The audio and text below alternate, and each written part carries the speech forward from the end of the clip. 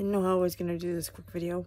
But, um, I just wanted to get on here real quick and, uh, say thank you to The Undertaker, uh, Mark Calaway, for giving us 30 years of entertainment, laughs, tears, and just great fun.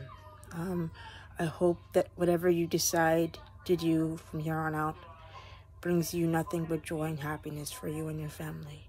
You've given us so much to enjoy and and your character and how you betrayed that character gave your fans an escape from when stuff got to be too hard.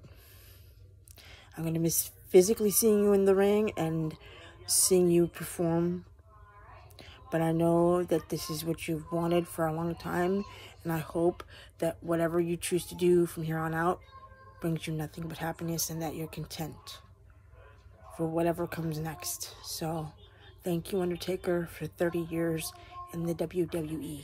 I wish you nothing but love, happiness, and success for you for you and your family. All right?